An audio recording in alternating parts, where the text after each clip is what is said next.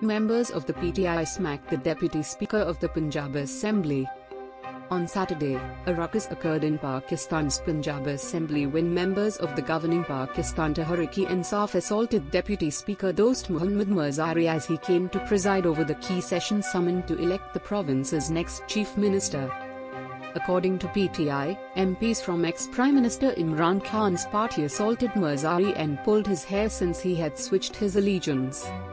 Mazari was assaulted, pummeling, and dragged by PTI members before being rescued by security personnel, according to television video.